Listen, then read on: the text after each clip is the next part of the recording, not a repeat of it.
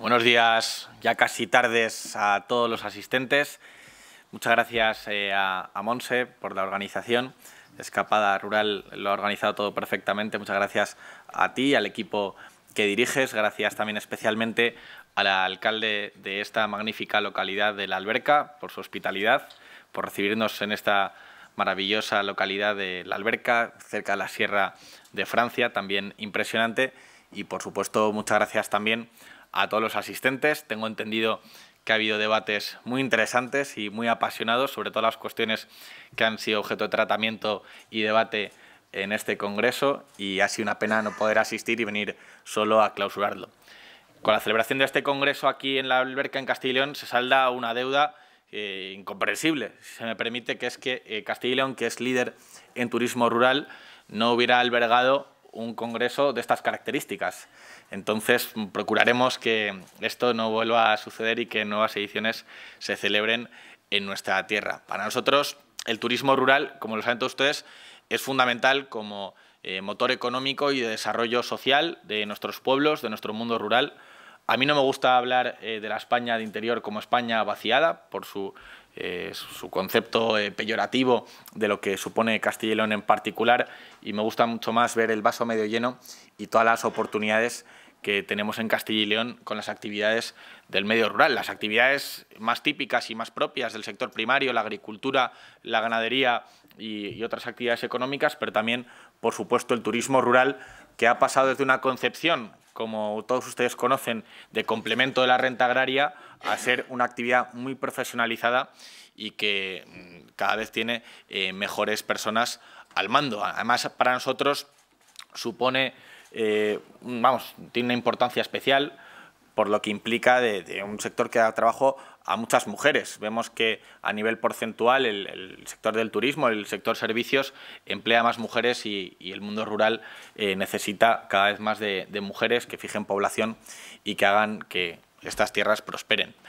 Yo estoy muy orgulloso de la política que ha desarrollado este Gobierno en materia de turismo rural. Las iniciativas las conocen. Hemos apostado por la digitalización del sector, por recuperar por ejemplo, el Camino Santiago francés, el original. Además, hemos revitalizado nuestra marca de excelencia, la de las posadas reales, y hemos hecho una apuesta para ayudar eh, a todo el sector que lo necesitaba, porque tenemos unos magníficos profesionales, pero quizás no siempre se había apostado eh, por ellos como realmente eh, merecían. Yo me siento muy orgulloso de tener mm, todo, todos estos elementos para tener un gran turismo rural, porque nosotros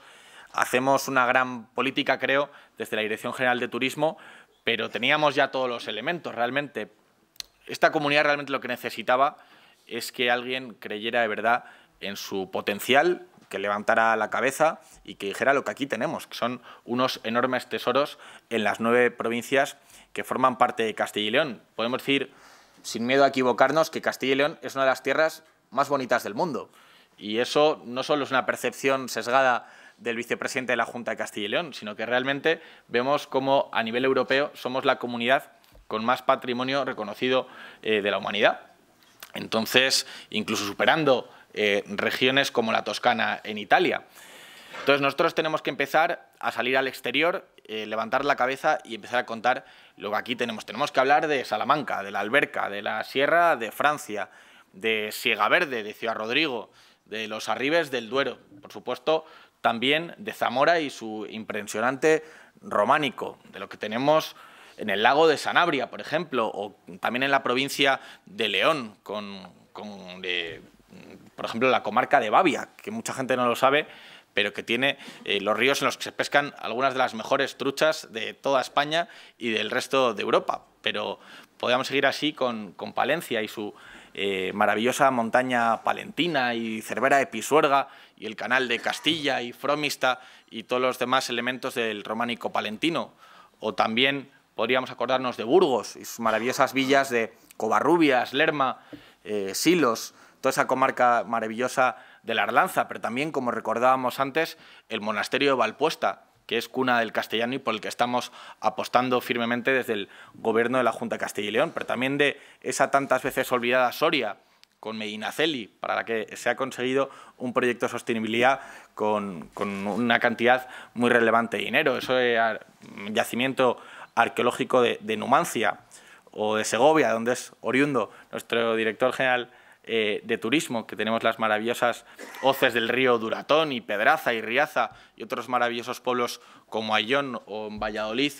que tenemos algunos de los castillos más bonitos, como el de Peñafiel o Tordesillas, con su Museo del Tratado y esa archifamosa Ribera del Duero, a la que viene tanto turista internacional como otras denominaciones de origen quizás menos conocidas como cigales, por alguno de los mejores claretes del mundo. Y así podríamos seguir con todo, sin olvidarme de Ávila y su maravilloso Valle del Tietar y esa ciudad amurallada que no nos deja de impresionar nunca. Entonces, yo creo que esto hay que decirlo así, porque a veces eh, se ha hecho una apuesta eh, demasiado poco ambiciosa y creo que es misión de cualquier gobierno, pero quizás más el de Castilla y León por los acuciantes problemas que tenemos de despoblación, el de levantar la cabeza y contar con orgullo todo lo que aquí tenemos, porque quizás otras regiones lo tienen más fácil, tienen más viento de cola por muchos motivos, pero aquí con el problema de despoblación, envejecimiento y abandono del medio rural es más necesario que nunca apostar por el turismo rural y ayudar a todos los profesionales como ustedes a que desarrollen sus negocios y que Castilla y León siga siendo un lugar de bienvenida. Muchas gracias.